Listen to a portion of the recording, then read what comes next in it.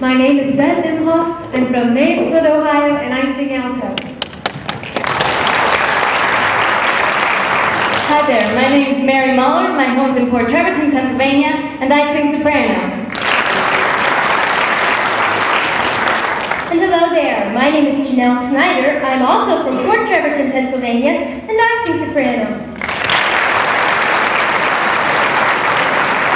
Good afternoon, ladies and gentlemen, and welcome to the Recreation Spotlight, where today we'll focus the illuminating lens on some of America's greatest stars and songs. We'll use all kinds of music, and before each section, I will be out here to poetryize the contents for you. Starting with our country music section. Now, all of these songs went to number one on the charts. And golly, Sergeant Carter, they did more than that. They popularized a whole new fad, the country line dance. We'll spotlight the songs and do some of the dances. But first, I'm about to give you a poetryized preview of the names of the artists. So pay attention there major quiz afterwards. Our Spotlight program is made up of something for every taste. So here's a bow to Nashville fans, a country music showcase. Do you remember what radio is? A TV with a picture of black? Well, Dynamite Modern Country Songs have a radio coming back. Dial the Recreation FM band, hear the Lorrie Morgan style. Alabama, Brooks and Dunn, and Billy Ray with a little bit of rockin' inside. The spotlight is on the Nashville sound, on country's modern hits. Fiddles, banjos, and steel guitars, Pippin boys, this is it. The spotlight is on country.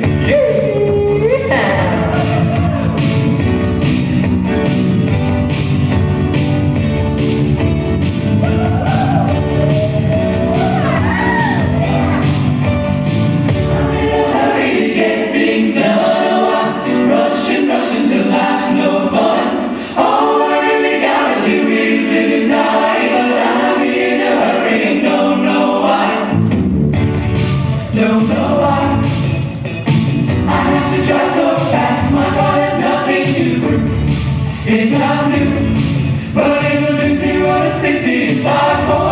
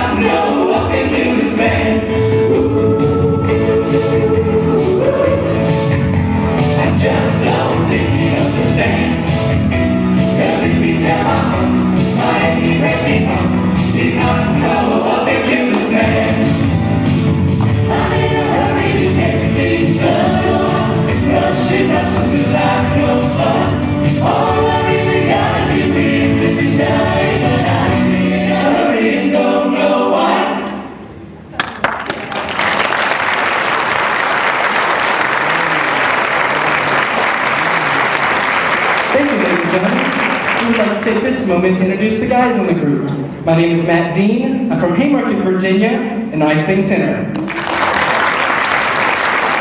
Good afternoon. My name is Jon Heyl. I'm from Easton, Pennsylvania, and I sing tenor. Hello, my name is Jim Hollenbach. I'm from Selinsgrove, Pennsylvania, and I sing baritone. Hello, my name is John home is in Phillipsburg, Pennsylvania, and I sing bass. You very much. There are two more performers in Recreation. Would like to meet them as well. The first is our production assistant. He's from Williamsport, Pennsylvania. Would you please greet Matt Daring?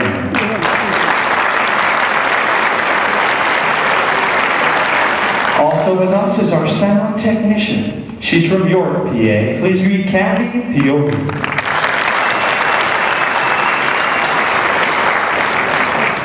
The names of those country songs will be spotlighted in our memories long into the future. Because they're good ones. And this is an honor already claimed by many great songs of the past. Not only country songs, but pop songs, religious songs, classical songs. Wait a second. Let me gear down here a little bit. You see, we've ever mentioned these songs. And this song time period, it gets to kind of old, but I mean, I'm all shook up. But, but I'm finding self-control.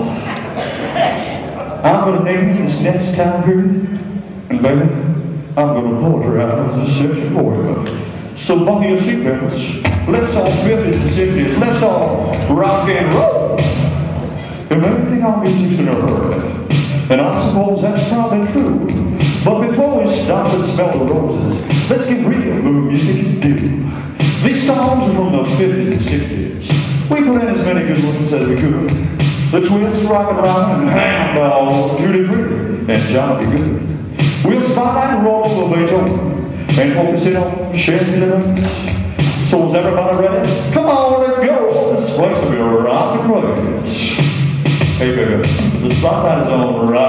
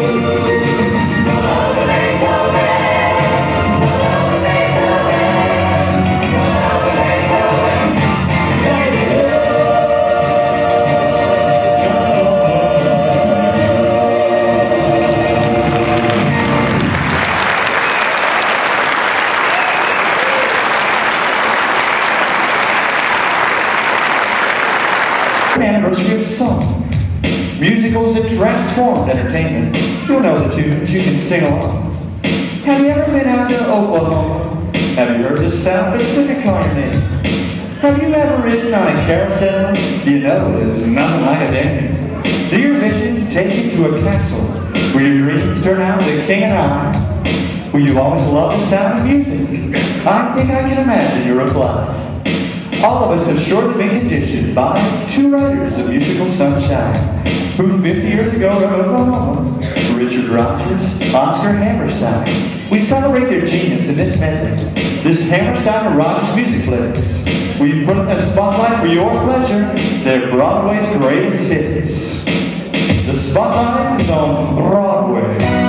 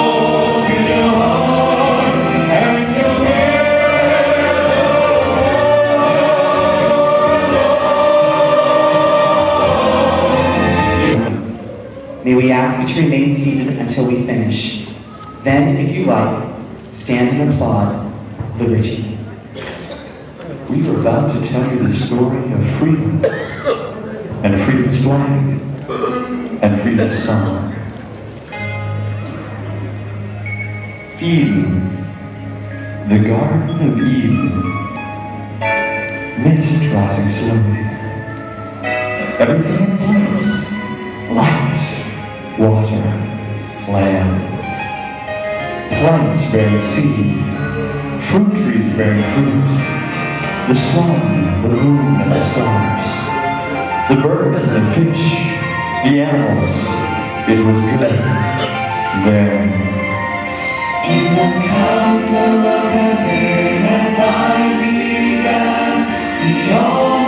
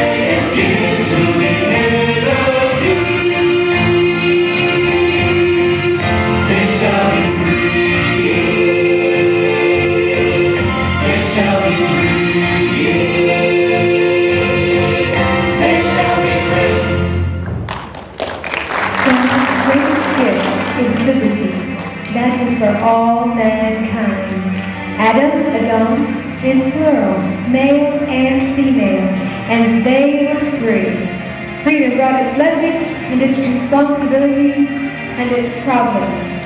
But it was still God's greatest gift. In the time that followed the creation, mankind multiplied. Great nations were established. There was religion and skepticism, justice and injustice, government and anarchy, and there was leadership and despotism. But there was no freedom. Well, there was freedom in religion, freedom of the heart and of the soul, but there was no political freedom, no personal freedom, no freedom for all mankind, not for thousands of years. Then, in 1776, in Philadelphia, We hold these truths to be self-evident, that all men are created that they are endowed by their Creator with certain unalienable rights, that among these are life, liberty, and the pursuit of happiness.